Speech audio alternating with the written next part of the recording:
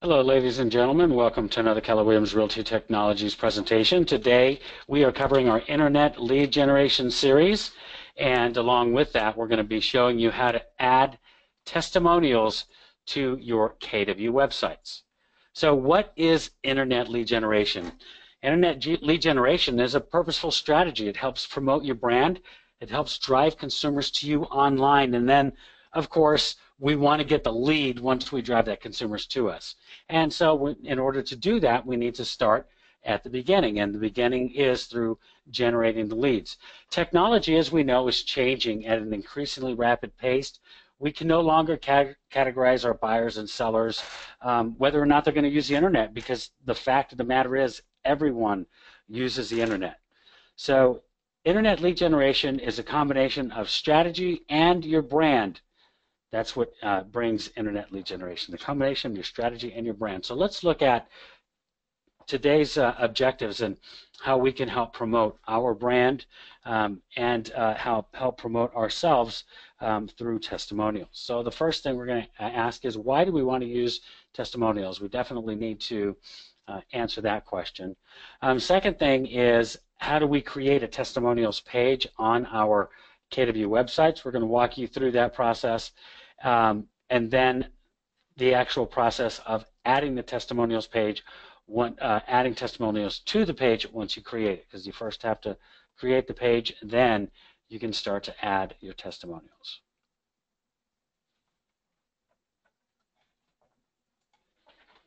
All right, so let's start with the first question. Why use testimonials?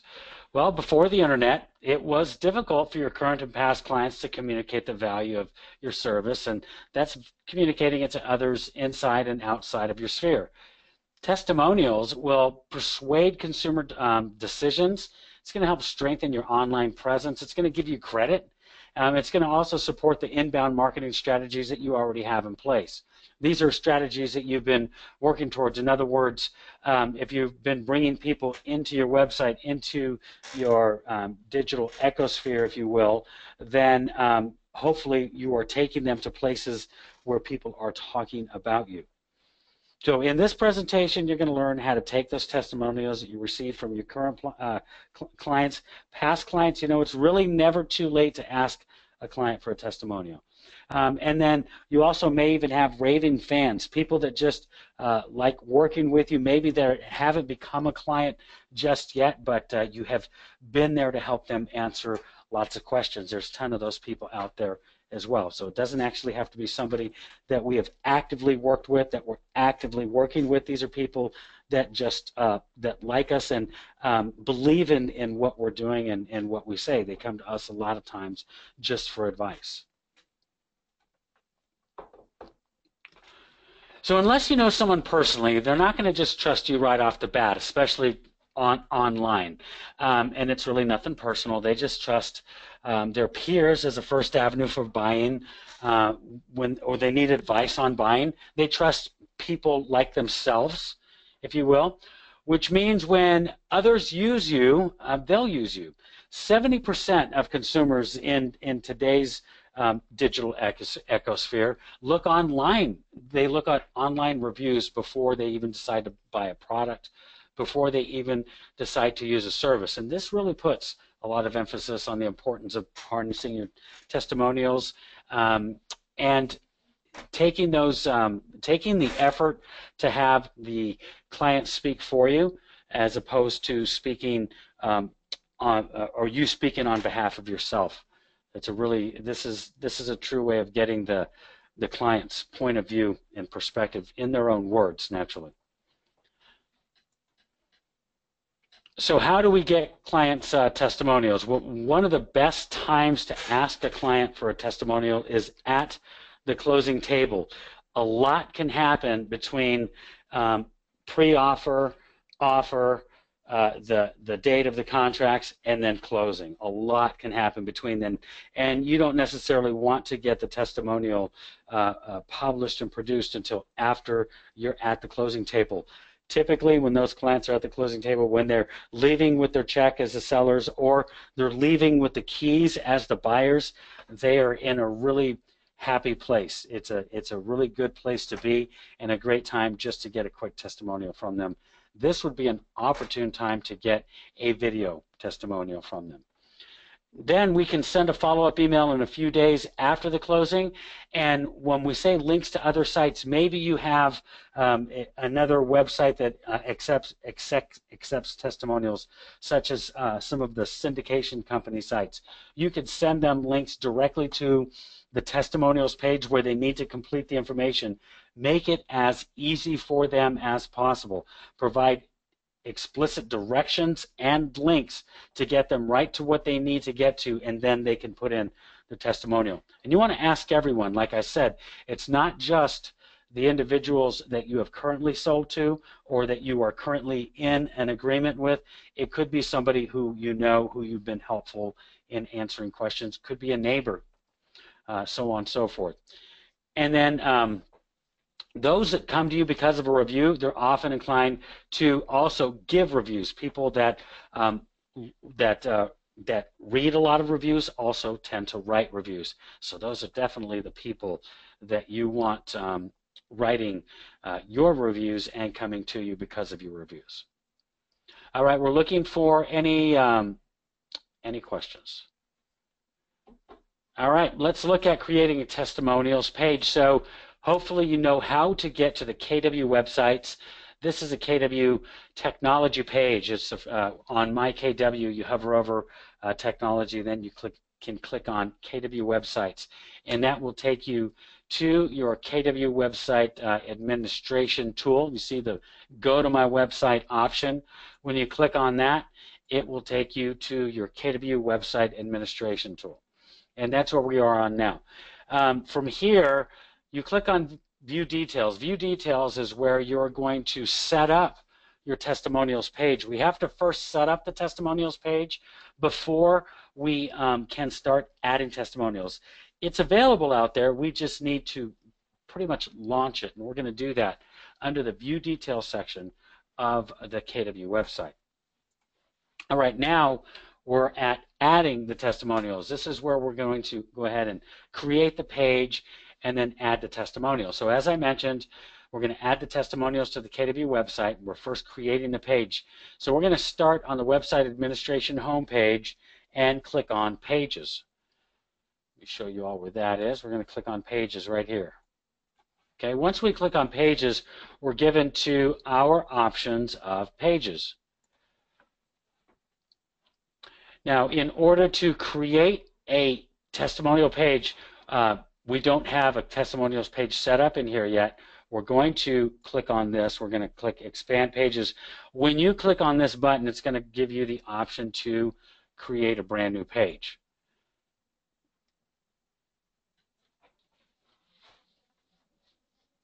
All right, now I'm going to pause the screen here. We're going to go in the, let's go into the live environment. Let's see if we can get a better screenshot of that.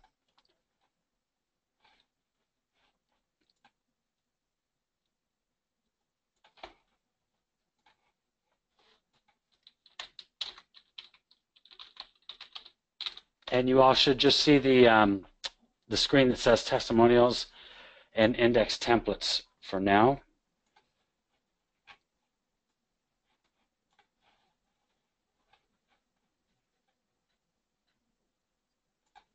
Okay, we're bringing up this page here.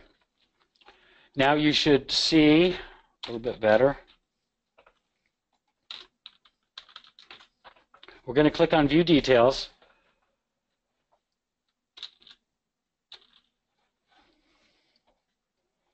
We're going to click on Pages, and here is where we can add a page. So right here we have a drop-down menu. This is what I wanted to bring up, and it just didn't look as good on the um, on the page here. This little drop-down menu allows us to create a specific type of page. The default page template, uh, the one that shows up here, is just that. It is a default page. It will just show the page title, the page content, which is showing here has your simple WYSIWYG editor, your content editor, and then your SEO options. What we're going to do is hit the drop-down menu, and we're going to choose Testimonials Index. When we click on Testimonials Index, now we can uh, create the page title and then create, um, and we also want to let it, let it know whether or not we want to add this page to a menu. All right, so let's go back to the slideshow and show you that.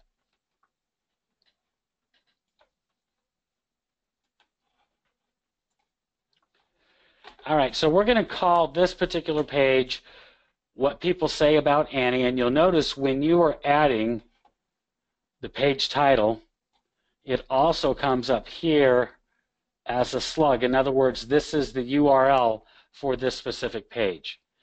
If we choose add this page to my menu, it's going to show it on the very top navigation bar. That's what that's for. Uh, if we want, we can also put it in a uh, in a in a uh, parent menu, uh, or we can leave it on the top navigation bar.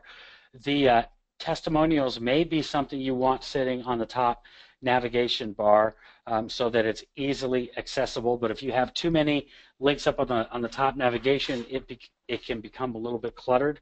So another place you may want to park it would be underneath um, uh, what uh, uh, underneath contact me and I'll show you where you can play around with the menu items.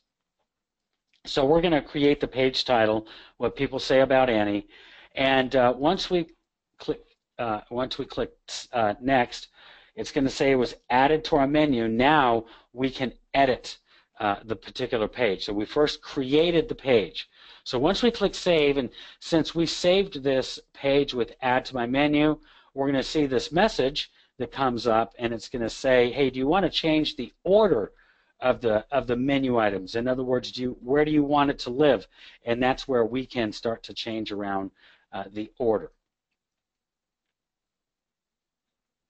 So now your new page will show up in the menu item, what people say about Annie, which is right here. So that's the new page. Nothing is in it just yet, but that is the new page. Okay, so now we've created the testimonials page and it's on our website as navigation menu item. Now we can add uh, the individual testimonials right there on the pages menu, okay? In other words, we have now the testimonials page. It's available to us right here in this testimonials menu right here. It'll show up right there. We go into that menu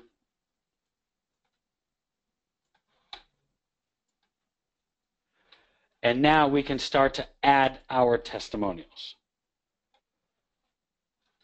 by clicking on the plus sign and then continuing to continuing to create those. So the very first part is creating the uh, menu item.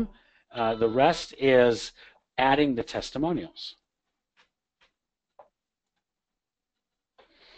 Okay, so we have a couple of options here.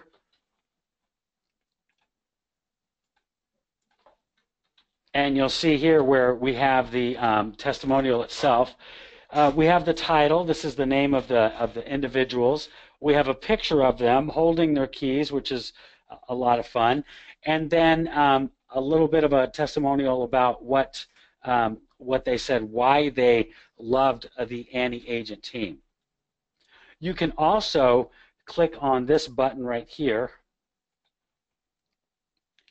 and quickly add a video. So if you were to put the video on your YouTube channel, then capture the uh, video iframe, the code, the uh, WYSIWYG code for the for the video, then you can um, easily add that to uh, add that to this uh, testimonial, and now you have a video testimonial, including some text on it as well. So you can you can do more. Um, any any of that can be done. Also, the WYSIWYG uh, editor allows you to um, add um, include uh, HTML code, as I mentioned, bold it, italicize it, add bullets, really make that testimonial come to life. That's really your goal. All right, someone asked, how did I get to this part again? So remember, when we first create, first create the testimonial uh, menu page by first creating a page called the testimonials index. There won't be anything in here until we do that. Once we create that page, Then it becomes available up here under testimonials. Then we go into testimonials and then we can start to add our testimonial content.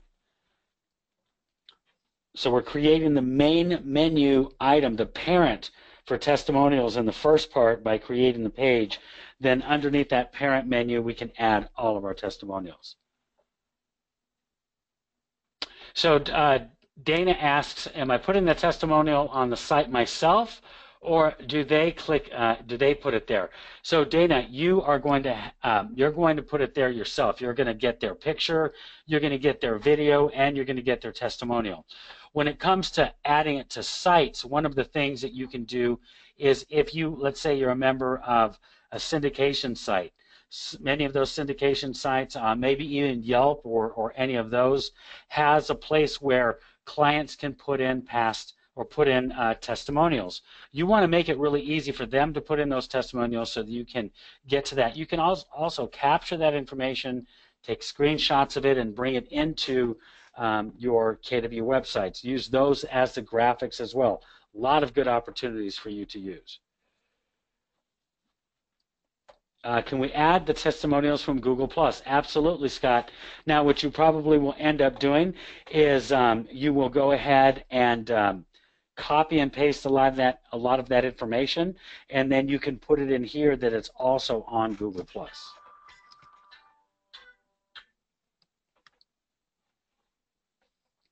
All right. Any other questions? And make sure that I did answer those questions that came in from Scott and Dana as well. Let me know if you have additional questions.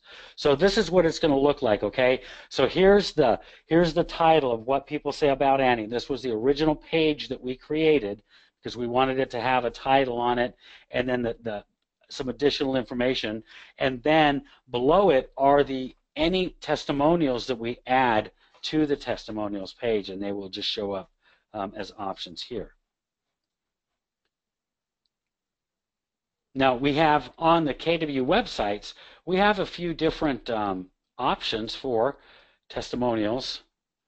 And I'm sorry, I wasn't showing the screen. There we go. This screen right here is showing the um, what people say about Annie right here. And this is the title of the page, what we titled. This is now where any testimonials that we add will live. And you'll notice it puts in the the, the pictures of the individuals who are giving the testimonials. Thank you, Jody, for the heads up on the screen change. Now I also have, I'm going to go to another screen, so please tell me if it's not when it's not changing in a moment. Some quick examples of testimonials that we showed early on. And so this is an example of, of a of a testimonial on the Madison design. So it comes up like this under testimonials or whatever you call that link. Then this is another one. I'm trying to remember the name of this specific um, uh, uh, template, but I can't remember. But um, most important is that the testimonials will scroll at the bottom of this page. At the very bottom, it scrolls through. However, no pictures show up. And then this is an additional uh, screenshot of another template where the testimonials are in a big, long um, a list. Again, the pictures of the clients aren't showing on this one, but it is in a nice uh, page where it has your contact information, your picture, and so forth.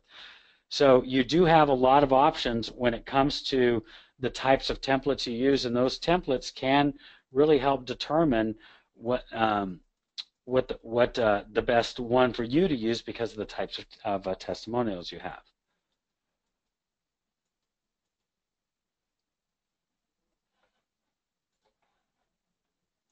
All right, we are at the end of our content. So um, we reviewed how to uh, uh how to uh, why we needed testimonials, um, when we can get testimonials, creating a testimonials page, and then, of course, adding the testimonials to your KW website.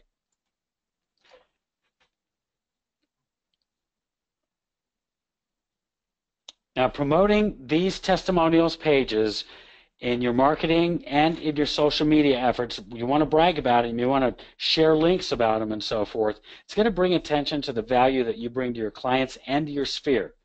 Now, next month, we're going to move on from discussing your brand and moving on to your strategy. So it's going to be more about uh, the strategy of your um, online lead generating efforts.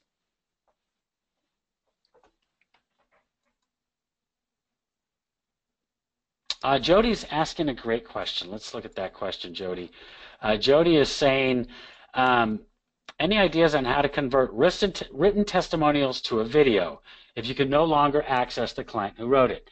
So, Jody, here's a thought. Um, maybe do something like a narration of the um, of the testimonials. Maybe have something playing in the background. Uh, maybe uh, you know KW video could really help in this regard by running one of those videos behind it and using your own narration or other uh, using a, a, having someone else do the narration for the testimonials. That's just a, a quick thought on that uh, particular question. And Scott, you are so very welcome for our time. We hope that you all get a lot out of these uh, presentations. If you are taking something in particular out of this presentation, please let us know when you are done with today's content. You should receive a, a survey right away, or we will also love to get um, uh, any comments from you. This webinar will be available online. It will be available on KWU Connect, so you guys can listen to it again.